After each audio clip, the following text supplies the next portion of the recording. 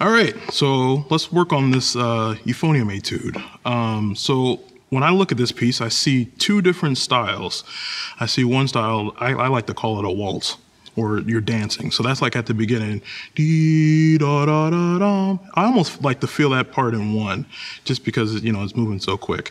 Um, and then the next next section that I like to to think about is is the, the section. This is at bar 17. I like to think of this as a march, just because it's a little bit more articulated.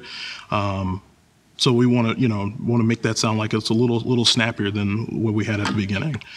Um, another thing about this etude is there's a lot of dynamics. There's almost a different a dynamic level on each each line of the music. So make sure that you're really paying attention to those, um, especially these those little um, hairpins where you have a little crescendo and then a decrescendo. So make sure you really make sure you're really doing those.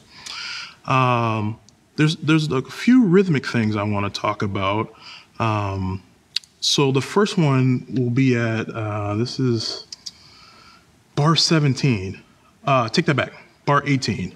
There's a dotted eighth 16th rhythm. This is probably the most misplayed rhythm that there ever has been. So just be careful that you're playing that rhythm correctly. So I'm going to play it two, two different ways. I'm going to play it what most people, how most people play that rhythm, and then I'll play how it should be played.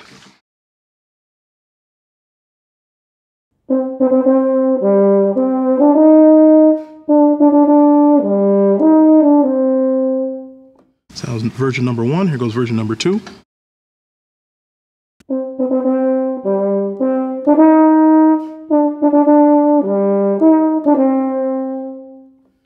So just make sure that the that this that you with the dotted eighth rhythm that you have three sixteenth notes in that dotted eighth note, and then that the 16th note comes in right at the right spot. Da da da da dum dum da da da da dum. So just make sure that's right in the right spot. All right, so there's a couple different, a couple uh, range things here um, in this etude. So if you look at bar 40, uh, I'm looking at the treble clef version. So mine's an A, but if you're in bass clef, that's a G. Um, so that might be kind of high for you. So what's what's some ways that we can work on um, developing our high register? Uh, one way that I like to, I like to use the mouthpiece a lot. So I'll just take my mouthpiece. Let me get a starting pitch here and I'll buzz, I'll just buzz just those first three notes in bar 40.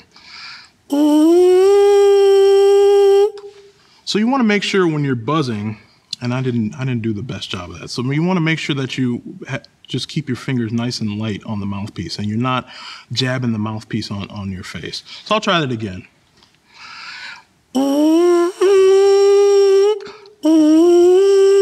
nice and light on your face and that you're using lots of air to get you up to those, those upper notes. Um, the next thing I like to do, then I'd like to play it. So the same sort of thing. You want to just keep everything nice and relaxed as you go up to that those high notes. So it's all about air. It's not about pressing or tighten up your body. So just keep everything nice, nice and relaxed. The next rhythmic spot I want to talk about is in bar 30 bars 30 and 31. So this part, um, if you look at these bars, just on the only beat that happens on, the only uh, note that comes on the beat is on the downbeat.